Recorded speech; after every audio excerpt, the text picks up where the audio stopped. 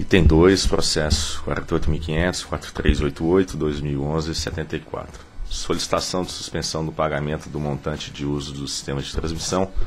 não utilizado pelas usinas do complexo Parnaíba 1, 2 e 3. Diretor relator, Dr. Reive Barros, informa que há pedido de sustentação oral. A, a Lei 9.648, de 27 de maio de 1998, estabelece em seu artigo 9 que compra e venda de energia elétrica entre concessionários ou autorizados deve ser contratado separadamente do acesso e uso do sistema de transmissão e distribuição. Por sua vez, a Resolução Normativa número 399, de 13 de abril de 2010, trata das regras de contratação do uso do sistema de transmissão em caráter permanente, flexível e temporário, bem como a forma de cálculo dos encargos correspondentes. A UTE Maranhão 3 de propriedade da UTE Parnaíba 2, Geração de Energia SA, sagrou-se vencedora do leilão de energia, de número 02 2011, 2011 o A-3, com previsão de entrada em operação comercial das duas primeiras unidades em 1 de fevereiro de 2014 e da terceira unidade em 1 de junho de 2014, com acesso à rede básica na subestação de Santo Antônio dos Lopes, em 500 kV o Complexo Parnaíba 1, formado pelas UTEs Maranhão 4 e 5, firmou com o Operador Nacional do Sistema Elétrico, o ONS, o contrato de uso do sistema de transmissão, o CUST, de número 110 2012, de 19 de novembro de 2012, cujos montantes de uso da, da, estão detalhados na tabela 1. Então, na tabela 1, nós temos os pontos de conexão na, na subestação SS Santo Antônio dos Lopes, dos pontos de conexão, a tensão é de 500 kV. O empreendimento, o primeiro, a UTE Maranhão 4, é, e o período de contratação é de 1 de janeiro de 2013 em diante, e o valor do MUST contratado é 336,76 é, megawatt. E a UTE Maranhão 5, é, também na mesma data, e também com a mesma potência é, contratada. A UTE Geração Paraíba 2, de Energia SA, Paraíba 2, formado pela UTE Maranhão 3, firmou com o INS o contrato de uso do sistema de transmissão CUST, esse de número 05-2014, em 13 de fevereiro de 2014, cujos montantes de uso detalha, eh, estão detalhados na tabela abaixo. Então, mesma coisa, a subestação é a mesma, o nível de tensão é o mesmo, os empreendimentos é o Maranhão 3, geradores, unidade geradoras 1 e 2, depois Maranhão 3, unidade geradora 1, 2 e 3, o período de contratação e o valor correspondente do MUST, que equivale na Maranhão 3 unidades geradora 1 e 2 a 334,8 MW e a de 2 quando consoma 1, 2, 3 isso passaria para 15,5,9 MW. O despacho 412 de 21 de fevereiro de 2014 liberou a unidade geradora A1 de 168,8 MW na, da UTE Maranhão 3 para início de operação em teste a partir de 22 de fevereiro de 2014. Em 17 de março de 2014, a Parnaíba 2 protocolou junto à ANEL carta sem número por meio da qual solicitou, dentre outros, o reconhecimento de excludente de sua responsabilidade pelo período de 503 dias é, de atraso no suprimento de energia contratado pelo CCAR decorrente do leilão 02-2011. O despacho de número 1670 de 28 de maio de 2014, liberou a unidade geradora A2 de 168,8 MW da UTE Maranhão 3 para início de operação em teste a partir de 29 de maio de 2014. Em 18 de junho de 2014, a Parnaíba 2 protocolou junto ao ANEL a carta sem número, por meio da qual apresentou proposta de termo de compromisso visando a adequação das obrigações de fornecimento de energia associada ao TE Maranhão 3. Na 28ª reunião pública ordinária, realizada em 5 de agosto de 2014, esta diretoria decidiu, conhecer do pedido do termo de compromisso de ajuste de conduta, o TAC, apresentado pela Parnaíba 2 e no mérito negado provimento, facultando-a de submeter à ANEL nova proposta, incorporando as condições mínimas adicionais apontadas pela diretoria, de forma a minimizar os prejuízos aos consumidores e melhor atender ao interesse público. Tal decisão foi exarada no despacho 3038 de 5 de agosto de 2014. Em 7 de agosto de 2014, a Parnaíba 2 apresentou a proposta ajustada de celebração de termo de compromisso contendo, dentre outros, o pleito de suspensão do pagamento pelo montante de uso do sistema de transmissão não utilizado, considerando a diferença entre os montantes total de uso contratado e o montante total de uso do sistema de transmissão efetivamente utilizado pelas usinas Parnaíba 2, 1, 2 e 3. É, suspensão essa sujeita à confirmação pelas áreas técnicas da ANEL de que não houve investimento adicional do sistema. Em 2 de outubro de 2014, por meio do despacho 4027, foi liberada a unidade geradora A3, a de 181,2 MW, da UTE Barão 3, para início da operação em teste a partir do dia 3 de outubro de 2014. Em 11 de novembro de 2014, por meio do despacho 4.402, a diretoria da ANEL decidiu aprovar definitivamente o instrumento do termo de compromisso de ajuste de conduta, o TAC, para o equacionamento das obrigações previstas nos contratos de comercialização de energia elétrica no ambiente regulado, decorrentes do leilão 2 de 2011, o A-3,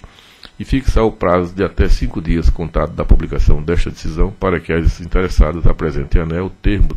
de compromisso de ajuste de conduta assinado em três dias de igual teor e forma. Em 19 de novembro de 2014, por meio da carta sem número, a Parnaíba 2 requereu a confirmação de que não houve investimento adicional na rede básica para atendimento às usinas do Complexo Parnaíba 1, da UTE Maranhão 4 e 5, Parnaíba 2 da UTE Maranhão 3 e Parnaíba 3 da UTE Nova Venécia 2. Em 1 de dezembro de 2014, por meio do ofício 325, a SRT solicitou ao ONS que informasse se houve investimentos na rede básica associada ao acesso das usinas do Complexo Parnaíba 1, 2 e 3 e os respectivos encargos de uso apurados. Em 3 de dezembro de 2014, por meio do ofício 329, a SRT solicitou à Eneva que informasse os fundamentos do pedido de suspensão do pagamento pelo montante do uso do sistema de transmissão, esse não utilizado pelas usinas do Complexo Parnaíba. Em 19 de dezembro de 2014, por meio da carta ONS 2027 100/2014, o ONS informou que não foram realizados investimentos na rede básica por conta exclusiva da entrada em operação das UTRs dos complexos Parnaíba 1, 2 e 3 e apresentou nota técnica com os encargos cobrados das referidas UTRs. Em 30 de janeiro de 2015, por meio da carta sem número, a Parnaíba 2 encaminhou seus esclarecimentos em resposta ao ofício 329 da SRT, onde argumentou que devido à obrigação assumida no TAC de geração da UTE Marão 3, em substituição às três turbinas a gás natural da UTS Maranhão 4 e Maranhão 5 para cumprir os CCRs associados às UTS Maranhão 4 e 5, não há necessidade de utilização do MUSE, isso esse MUSE contratado pela UTE Maranhão 3, e, segundo seu entendimento, por não haver prestação de serviço de transmissão que justifique a exigibilidade da TUST, razão pela qual solicitou que seja, primeiro, atestada a inexistência de investimentos adicionais no sistema de transmissão para atendimento às usinas em especial para a integração das UTRs Maranhão à rede básica e recomendada a suspensão do pagamento do MUST não utilizado, sendo os valores pagos até a data retornada ao, ou compensados a Parnaíba 2, postergando-se a data é, de início do custo do 05-2014 associada ao TE Maranhão 3, para julho de 2016, concatenando com o início do suprimento do ICCAR. Em 31 de março de 2015, por meio da carta sem número, a Parnaíba 2 solicitou que, até que seja apreciado o pedido protocolado pela Parnaíba 2 de não suspensão do pagamento do MUST do Maranhão 3, não utilizado pelo período de março de 2014 a julho de 2016, que seja suspensa o pagamento do MUST da UTE Maranhão 3 para o período de julho de 2015 a junho de 2016, alter, ou alternativamente, ao menos o MUS da UTE Maranhão 5 para o mesmo período. Em 13 de abril de 2015, o processo foi distribuído, é o relatório. A sustentação oral será feita pelo Dr. Guilherme Penteado, representante da Parnaíba 2. Bom dia a todos. Bem, como foi já dito aqui, trata-se de processo de pedido de suspensão do pagamento do uso do sistema de transmissão em razão é, da celebração de termos de compromisso de ajuste. Bem, é, só para lembrar é, do TAC, o TAC ele, ele prorrogou o início de entrada dos contratos da UTE Maranhão 3 de 1 de março de 2014 para 30 de junho de 2016. tendo a, entrada exatamente na semana passada, na última sexta-feira, com é, efetivamente mais de 8,4 milhões de metros cúbicos dias e o complexo gerando com 1.425 megawatts. E parte do gás foi direcionado, para fim de cumprimento do TAC, ele foi direcionado das UTEs Maranhão 4 e 5 para o UTE Maranhão 3, de forma com que, como está desenhado no gráfico, é, com a nova configuração da Parnaíba durante o período do, do TAC, mesmo usando uma quantidade inferior de gás, seria gerada a mesma quantidade de energia em virtude da unidade a vapor. Então, é, a, o Parnaíba 1, durante o, o, período do TAC, arrendou as unidades geradoras da UTE Maneão 3, passando a ser uma usina de sete máquinas. E o MUST contratado pela Parnaíba 1 se tornou absolutamente é, suficiente para cobrir toda a geração do Parnaíba 1 nessa nova configuração com sete máquinas. E como condições foram impostas para o atendimento do pleito do agente, é, foram basicamente duas. Em primeiro lugar, que as áreas técnicas confirmassem que não houve investimento adicional no sistema para recepcionar as usinas, né, especialmente a usina da, da, da, da UTE Maranhão 3. E também que a Eneva deveria é, cumprir com a obrigação de pagar pela disponibilidade do sistema de transmissão necessário ao escoamento de toda a energia do complexo do Paraíba durante o período do TAC. Quanto ao item 1, ah, vale lembrar que a conexão do complexo se deu através do, do seccionamento do circuito, uma linha de transmissão de 500 kV, presidente do Miranda 2, de propriedade da Eletronorte. O investimento total foi de 100 milhões de reais, com eh, a transferência dos ativos da doação para a Eletronorte e foi integralmente, esses 100 milhões de reais, integralmente assumidos pela, pela eh, o, o Grupo Eneva. E uma vez indagado sobre a realização de investimentos adicionais para a execução da usina, o INS respondeu de forma taxativa que não foram investimentos, não foram realizados investimentos na rede básica por conta exclusiva da entrada em operação das UTEs do complexo Paraíba 1, 2 e 3. Ou seja, não só o TE Maranhão 3, mas também todo o complexo do Paraíba não demandou investimentos adicionais no sistema para recepcionar as usinas do Paraíba. E a nota técnica da SIT confirmou, reiterou os termos é, da carta do ONS. No, no entanto, na, na última sexta-feira foi emitida uma nota técnica complementar, que nós tomamos conhecimento ontem, e que diz que, após comparação das informações contidas na carta ONS 2027 2014, no parecer de acesso da UTE Maranhão 3 à rede básica, na subestação Santo Antônio do Lopes, em Xavier, observamos que foram realizados diversos investimentos na rede básica associados ao acesso das usinas do complexo do Parnaíba, nele inserida a UTE Maranhão 3, de modo que as condições especificadas, tanto no voto condutor no despacho 4.402, quanto na resolução normativa 399, de 2010 para que o pleito da Parnaíba 2 seja provido não são atendidos. E isso fez com base numa informação citada no parecer de acesso da UTE Marão 3,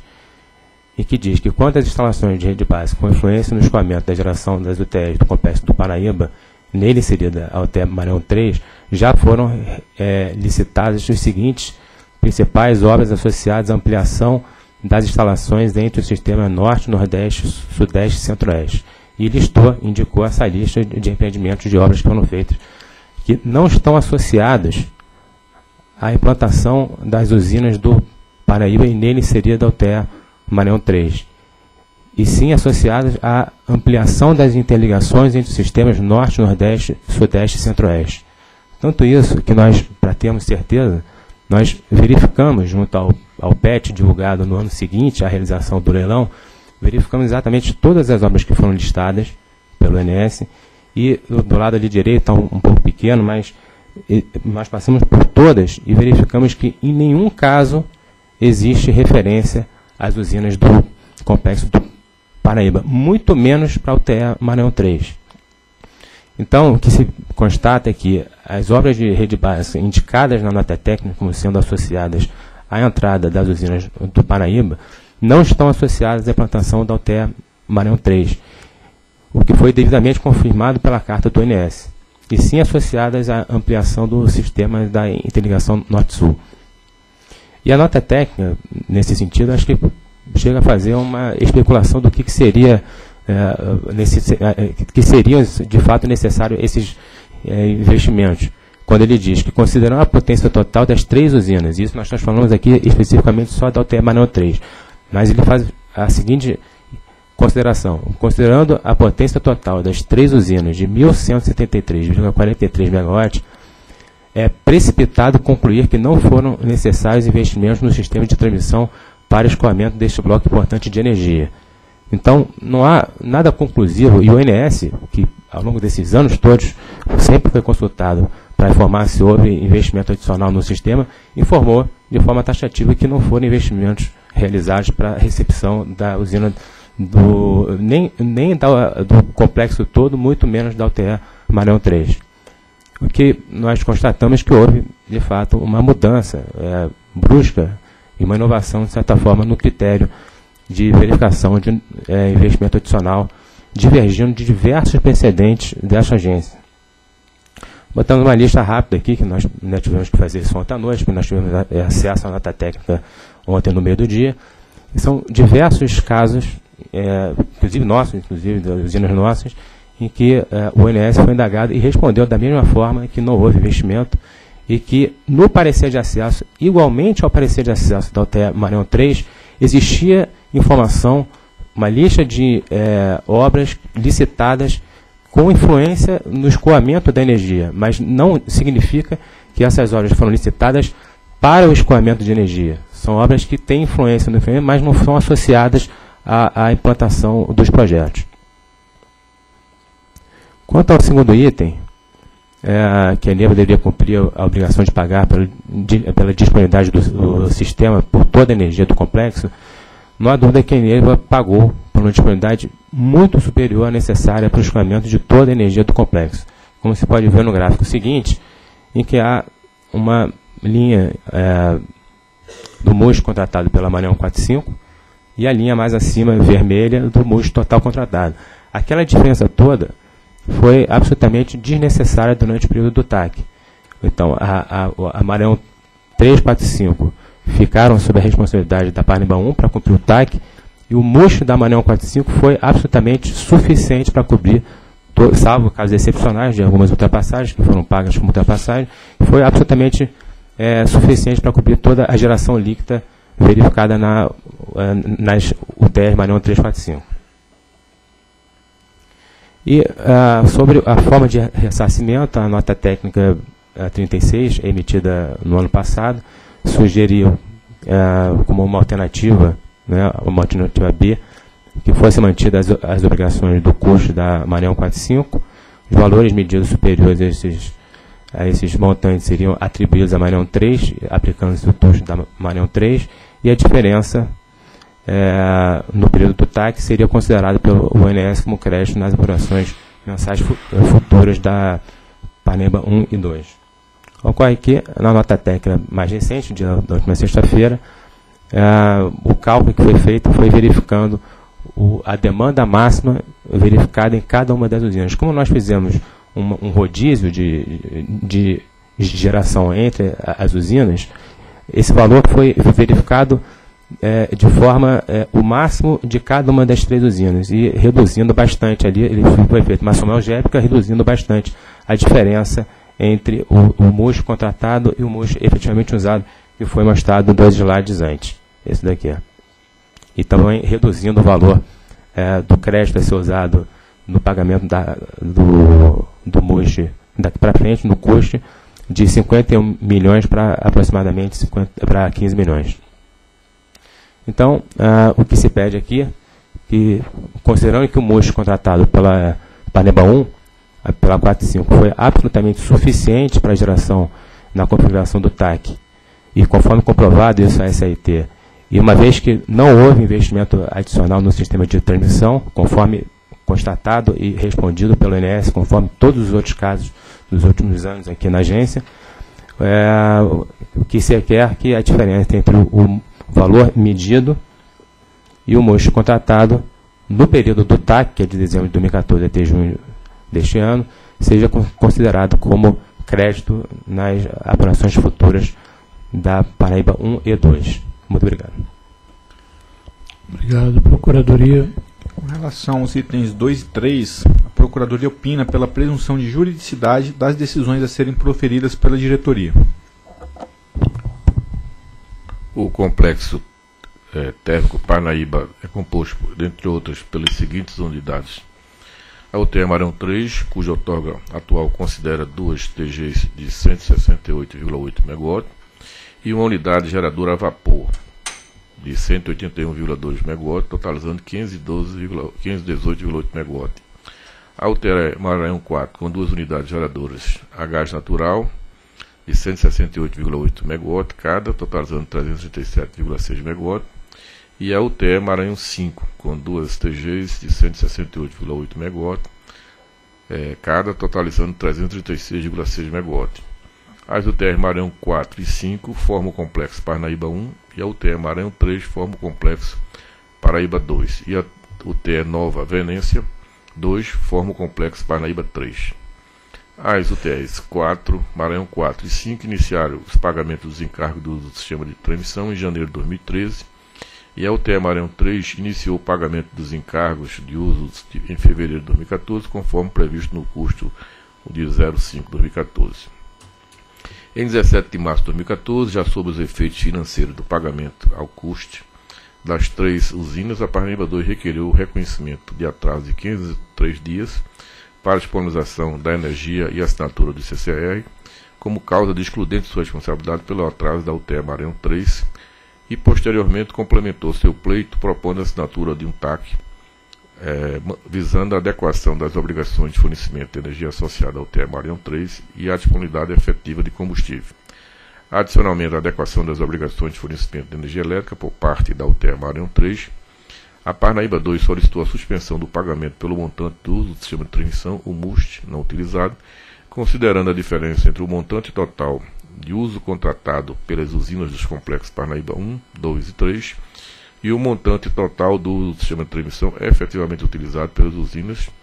Suspensão essa sujeita à confirmação pelas áreas técnicas da ANEL de que não houve investimento adicional no sistema. Ao avaliar o tema, esta diretoria não reconheceu o atraso como excludente de responsabilidade de Parnaíba 2, porém aceitou a proposta de assinatura do termo de compromisso de ajuste de conduta mediante o cumprimento das seguintes condições. Postergação da data de execução do CCR associado ao TE Maranhão 3, a substituição temporária da geração de energia das usinas do Complexo Parnaíba 1, ao TE Maranhão 4 e 5, pela geração em teste da UTE Maranhão 3, que possui uma usina de ciclo combinado é capaz de gerar mais energia do que as usinas do Complexo Parnaíba 1 a partir da mesma quantidade de combustível. Assim, a decisão exorada não constou qualquer menção à suspensão do pagamento de MUST Todavia, no voto condutor do processo, a suspensão do pagamento do MUST não utilizado foi condicionado à observância das condições regulatórias vigentes, à ausência de investimento adicional no sistema de transmissão para o atendimento das usinas. E aí nós temos o voto condutor e depois o voto, um voto em separado do diretor-geral. É, ressalto que o despacho 4.402, de 11 de novembro de 2014, que aprovou o TAC assinado entre a ANEL e a Parnaíba 2, Geração de Energia SA e do próprio TAC, não consta qualquer referência ao prosseguimento do pleito. No entanto, em janeiro de 2015, a Parnaíba 2 reitera o pedido formulado em novembro de 2014 com o seguinte argumento. Diante das condições estabelecidas no TAC e não havendo a prestação de serviços de transmissão que justifiquem a exigibilidade da TUST, eh, resta aplicável, inaplicável o disposto no artigo 11 da Resolução Normativa 399-2010, razão pela qual solicita que seja atestada a inexistência de investimentos adicionais no sistema de transmissão para atendimento às usinas, em especial para a integração da UTE Maranhão à rede básica, recomendada a suspensão do pagamento do MUST não utilizado, sendo os valores pagos até esta data retornados ou compensados a Parnaíba 2, postergando-se a data do início do custo, o 05, associado ao TE Maranhão 3 para julho de 2016, concatenado com o início do suprimento do ICCAR. Assim, o agente fundamenta o seu pleito em três argumentos. Nas condições estabelecidas no TAC, na existência de investimentos adicionais do sistema de transmissão para atendimento às usinas nos termos da manifestação contida no voto condutor da decisão de assinatura do TAC e na inexistência de prestação de serviço de transmissão que justifique a exigibilidade da TUST, restando inaplicável o disposto no artigo 11 da Resolução Normativa 399-2010. Em primeiro lugar, ressalto que em nenhum momento esta diretoria decidiu pela continuidade do pleito e que os fundamentos do voto condutor não estão contidos na decisão proferida. Assim, não por outro motivo, nem do despacho 4.402-2014, tampouco do próprio TAC, constou qualquer cláusula que remetesse à remota possibilidade de isenção e ou barra suspensão do MUST não utilizado pelas usinas do Complexo Parnaíba 1, 2 e 3, conforme solicitado na proposta da Parnaíba 2. Por fim, não houve, pela diretoria da ANEL, reconhecimento de excludente de responsabilidade que afastasse as obrigações pactuadas no custo que justificasse a suspensão do pagamento do MUST. Questionado, o INS informou que não foram realizados investimentos na rede básica por conta exclusiva da entrada em operação das UTRs do Complexo Parnaíba 1, 2 e 3. Entretanto, o parecer de acesso para as UTRs Maranhão 3, emitido em 19 de fevereiro de 2014, o INS registrou que já foram licitadas instalações de rede básica com influência no escoamento da geração das UTEs do Complexo Parnaíba 2, nela inserida a UTE Maranhão 3, obras associadas a ampliações das interligações entre o sistema Norte, Nordeste, Sudeste e Centro-Oeste, e na tabela 3, abaixo, apresenta a relação dessas obras. Então, na tabela 3, tem as principais obras da rede básica associadas à ampliação é, norte, nordeste, é, sudeste e centro-oeste, ou seja, são obras associadas ao sistema de escoamento das é, energia do Complexo Paraíba. Apesar das informações prestadas pela ANES, faz necessário também avaliar as condições regulatórias concernentes à possibilidade de suspensão do custe. E deste modo, encontro no artigo 11 da Resolução Normativa 399, de 13 de abril de 2010, não há previsão de suspensão, mas a possibilidade de postergação do contrato de uso. E no seu artigo 11, as datas de início de execução dos custos permanentes poderão ser postergadas mediante solicitação ONS com cópia anel até 31 de março de cada ano para consideração a partir do início do ciclo tarifário subsequente, desde que não tenha havido investimentos na rede associada ao acesso solicitado. No parágrafo 1 é vedada a alteração das obrigações contratadas durante o ciclo tarifário da transmissão, excetuando aqueles previstos nesta resolução. E o segundo parágrafo diz: a eventual postergação da data de contratação do sistema que tenha sido antecipada observará o disposto neste artigo. Portanto, o regulamento é claro ao estabelecer a possibilidade de postergação do custo e, para tanto, estabelece a condição de não ter havido investimento na rede associada ao acesso solicitado. Tal comando guarda a necessária coerência econômica, pois, não tendo ocorrido investimento, não haverá também a remuneração desses investimentos.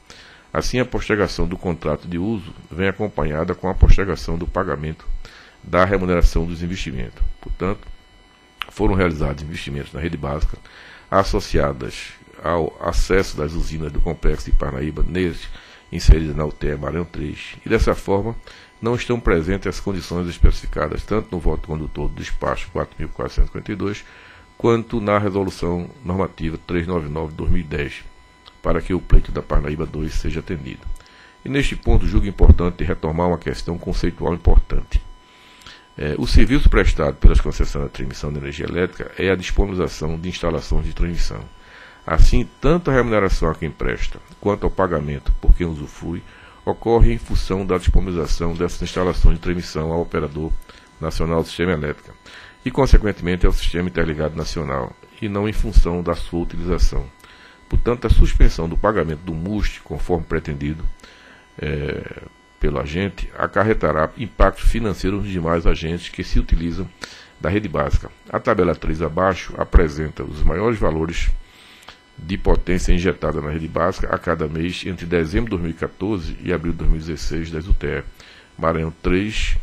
4 e 5, com destaque para os meses em que o MUST utilizando, utilizado ultrapassou o MUST contratado. Então, nessa tabela, tabela 1,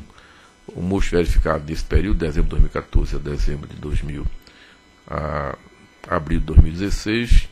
é, pelas respectivas é, unidades geradoras, Maranhão 3, Maranhão 4 e Maranhão 5, e os valores observados. Na tabela acima, é, verifica-se que todas as três UTEs envolvidas no TAC fizeram uso do sistema de transmissão aéreo disponibilizado. Apenas durante o mês de outubro de 2015, a UTE Maranhão 4 não injetou potência na rede básica. Assim, não há que se falar em MUST não utilizado pelas usinas de Parnaíba. Inclusive, em diversos meses, houve ultrapassagem dos MUST contratados. Assim, ao contrário do que se depreende do TAC, de que a UTE Maranhão 4 e 5 seriam substituídas pela UTE Maranhão 3, as três usinas injetaram potência na rede básica, muitas vezes em períodos coincidentes, e não apenas a UTE Maranhão 3. Ao prover o pleito, conforme apresentado, o pagamento integral dos EUST das UTE Maranhão 4 e 5, mais a diferença entre a máxima potência injetada por cada usina a cada mês e os 600 667,5 MW precificada a tarifa do sistema de transmissão,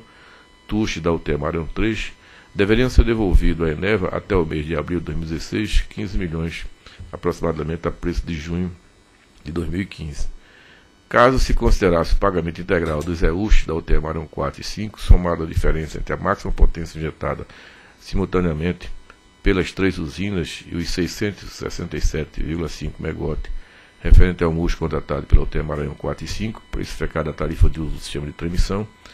é, o TUS da UTE Maranhão 3 até o mês de abril de 2016 seriam devolvidos à Eneva da ordem de 51 milhões a preço de junho de 2015. Esses valores já foram pagos pela Eneva às transmissoras e deveriam ser devolvidos por meio do desconto de apurações mensais de serviços de encargos futuros. O déficit das concessionárias de transmissão, por sua vez, seriam repassados aos demais usuários do Sistema Interligado Nacional muitos dos quais já arcaram com os prejuízos gerados pela postergação do CCR da UTE Barão 3. Todavia, independentemente das estimativas realizadas, o fato de as usinas terem usufruído da capacidade de transmissão disponibilizada pelo Sistema Interligado Nacional desautoriza, por falta de previsão legal, a razoabilidade econômica o provimento do pleito apresentado pela Parnaíba 2. Portanto, nós estamos diante de um fato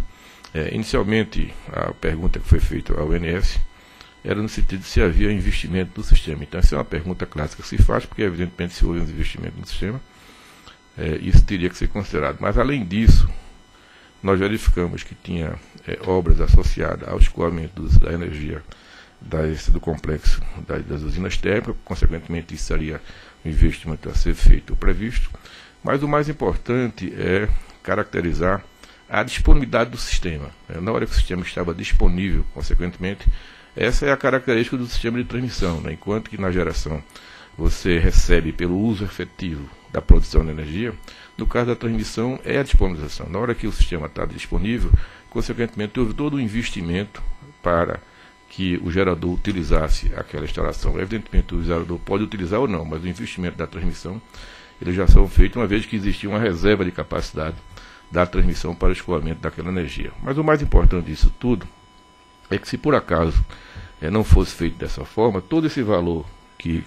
nós colocamos aqui, eu tive a preocupação de precificar para dar a noção, é, dar uma sensibilidade dos números envolvidos, consequentemente, se a, a Eneva não paga isso aqui, eu teria que tirar agora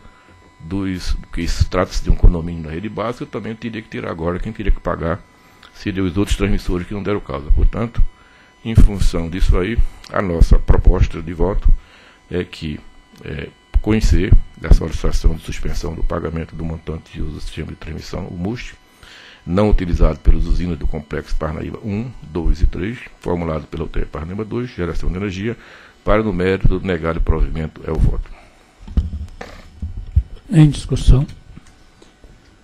Eu acho que esse comentário que o doutor fez no final é é bastante relevante e resume a questão. Né? A lógica do sistema de transmissão é essa lógica da disponibilidade. E para isso existe todo um sistema de contratação. E a resolução 399 ela disciplina é, a, a cronologia que pode fazer uma revisão do nível de contratação, exatamente para que essa disponibilidade está contratada né, e, portanto, disponibilizada, possa ser eventualmente é, revista e disponibilizada para outras contratações. Então, há uma reserva contratada, ainda que não tenha sido utilizado, mas não houve a revisão do nível de contratação como prevê a norma. Então, mesmo que não houvesse ou que não haja uma, um investimento vinculado específico para essa é, utilização da Eneva, eu acho que o fato dela ter contratado e ter a disponibilidade reservada, ainda que ela não tenha utilizado, justifica o pagamento. Então, também tenho a mesma compreensão. Ok, em votação. Eu voto com o relator. Também voto com o relator. Também acompanho o relator. Em voto com o relator, proclamo que a diretoria decidiu por conhecer da solicitação de suspensão do pagamento do montante de uso do sistema de transmissão MUST não utilizado pelas usinas de complexo Parnaíbas 1, 2 e 3, formulado pela UTE Parnaíba 2, Geração de Energia SA, para, no mérito, negar-lhe provimento. Próximo item.